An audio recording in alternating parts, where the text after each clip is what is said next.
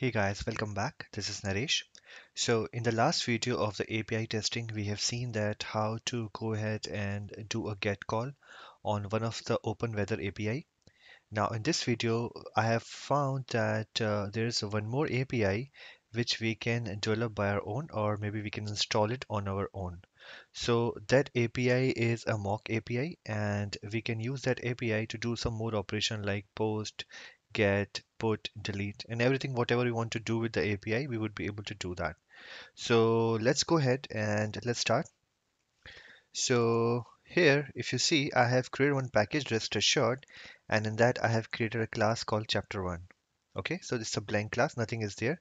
So you have to make sure that uh, before you are, uh, you know, uh, testing anything on the rest assured, you have to make sure the packages which it require and the jar files which it require all right, so there are three main jar files which we need. One is hamcrest all, okay, and another is io.rest-assured, and another is com.google.code.json. Okay, so for that, what I have done, I have just put it in one of the page here. It is my blog page.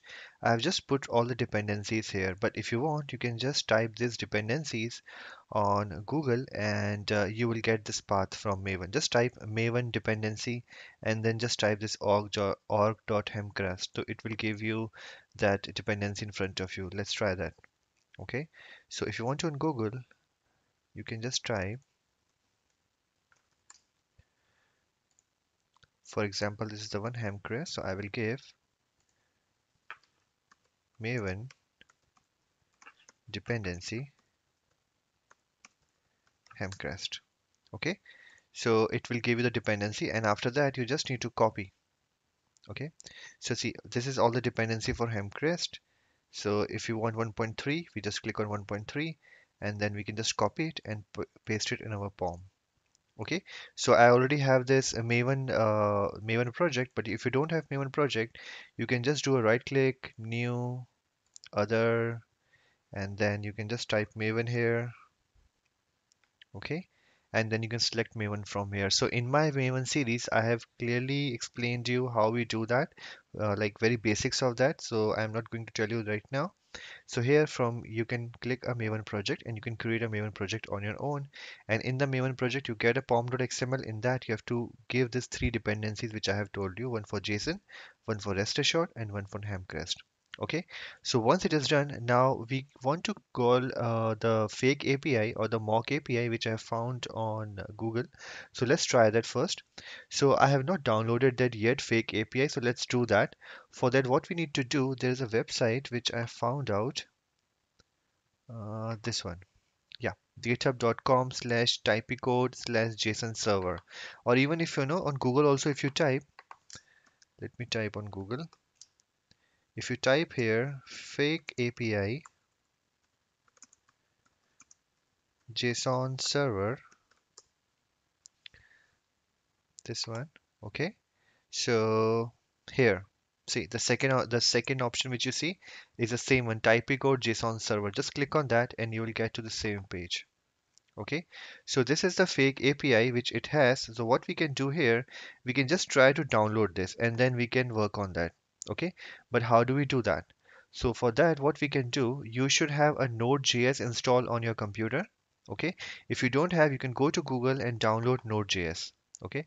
But once you have downloaded node.js because i already have on my pc so i'm not downloading again you just have to go to the command prompt okay? And here you can type command for Node.js is npm because npm is a command which will only work if your Node.js is downloaded and set up in your path. So I will type npm and then install. And then I will say minus g and then it will json dash server. Okay? So this is the path I have to give and I have to hit on enter Alright, so once I hit on enter, it will download this project for me. And what I have to do now, I have to create a file which is called db.json file. So these are all the instructions which are already been provided here. So if you want, you can just read out this instruction or you can just follow my video. Because in video, I will just tell you in very small steps how this can be done. Okay. All right, so let's wait till the time it installs this JSON server. And uh, in the meantime, what we can do, okay, see, it's uh, trying to download, right? So it may take some time. Let's wait. Otherwise, I will pause the video and then we will just go forward once it get downloaded. So Seam is taking time. Let me just pause this video. Seems that the JSON server and the related API has been downloaded now. All right. So if we see this document, it say that once you install this JSON server, you have to create a db.json file and you have to put this into your file. Okay. So what we can do here, we can just go to any blank folder and here we can create a new file. Okay. Its name would be db.json right? And in this file, we will put this complete JSON payload. All right. And we will do a save and we will just close it. All right, that's it. And let me just see the document again. It says now you need to start your JSON server through this command. So we'll just copy this command all right we go into same folder. I will type cmd here. And here I can give this command. Just to make it sure you know we are running these commands so that JSON is up and running. All right then we can try to test our API so right now we will just try with the post I'm sorry we will try with the get. And in the next video I will tell you how to do the post delete and put also okay? Right now we are trying to just basic things with this fake API all right so JSON server has been created and it says that this is the resource right? So let me just hit this resource directly first. Let me see if I'm getting anything here. Okay so I'm getting a response here. All right so if I see the document for this what does it says? Okay so we have to do this and this is also my one of the resource. So it means that see these this is a resource which I can give while hitting the see get it's a, there's a get call and after that I can give either simply a post or I can give a number. Okay?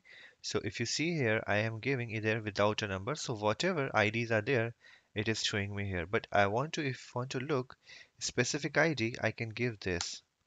Okay? Oblique slash and one so it will give me only the id which has 1 in there. Okay? If we have more than id we can even go for 2 3 and 4 which, will, which we will look in the next video. So this is how we have done. And if you see here this is the URI this is the base URI and this is from the post slash one. This is our resource. Okay just note make a note of that. Now if we want to test the same through a postman so postman is one of the software which i told you that you can download it in the previous video or you can also you know add an extension of chrome. So it is available both. So i have already downloaded it postman. So i'm just opening it. All right so this is the postman how it look. Then let me just try this url the get url here. And that's it. No other thing i need to give. And sent. Okay great. So we have received this response this response payload. So that's mean we are able to successfully you know call this url and if you see i have also received some kind of headers there. Now let's try to do the same into our code. Okay? So let me just remove everything from here. All right. See this is this is uh, one of the blank class. I have not written anything uh, right now. So we will just write everything and uh, we will write in a BDD style because in the last video we have written in a non-BDD style. Then I have just gave you a heads up that from now onwards we will write everything into the BDD style. So in this uh, fake API also we will write into the BDD style and then we will do some more operations because we don't want to write large code and we want to do the things with a short possible manner. Okay? So whenever you are writing in your project always make sure you write in this way only if you are using rest assured because that is best uh, rest assured provide all those methods for us okay so that we can best utilize it All right. So before we go ahead, let's understand what we can give in given when then. As I've written here, in the given, you can have headers. You can give your headers in given. You can give parameters. You can even give cookies, cookie, and uh, you can give body, content type, and if you want to, you know, call some method like relax HTTPS validation, you can call them. So we will look into this one by one, how do we use that, but just understand that in the given, we mainly give some kind of a data. All right. What do we give in when?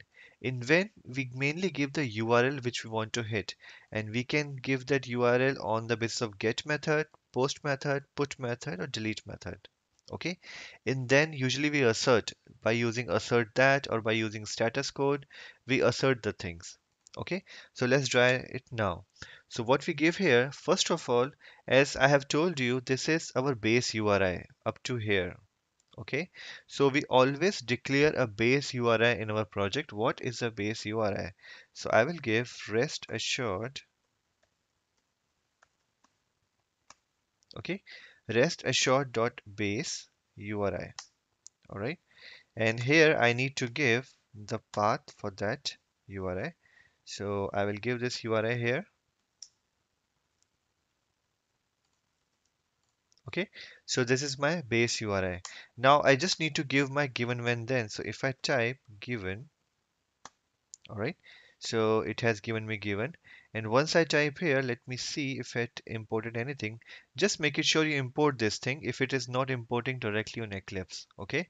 You need to type import static and then you have to give io.restassured.restassured.given then only your given will work okay? So what I want to give here given and I want to say that when I am giving the you know request the content type is JSON because that's the JSON payload right? And I can give content type content type here like I have seen shown you here. So I will type content type and inside that I can give a content as application slash JSON all right. So I have already given the content type as application JSON. Uh, okay. So I need to remove SJA it's JSON all right. Now what I need to give I need to give when. And in the when I can give like get condition one of the method as I told you. In the when we can give get method. All right. And in this get method I need to give the URL of my resource all right. So what is the resource url it is this one post and one. Okay. So this is the when which I have given and now I can give then. All right. So here I will go just print it. I will not do any assertion here. All right. Just to make it you know just keep it simple I have given a base URI then I have call given with the application JSON as my content type okay which is written here. And then I have given when all right and I am get, giving a get method here. Then I have typed then so that it can print everything. And let, let's try to hit it from our test case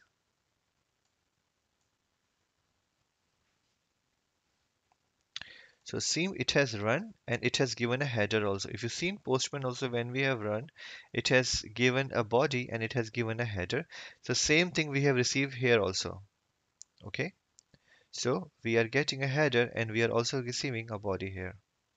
All right. So this is the way you can use that given when then to hit a server. And right now as you see we are using the local host. We are using a local server and the local API which we have installed. Okay? So next video we will do some more operations by using this API and uh, we will try to see how to use post how to use delete and other things also by using rest assured. All right? Thank you for watching. Have a great day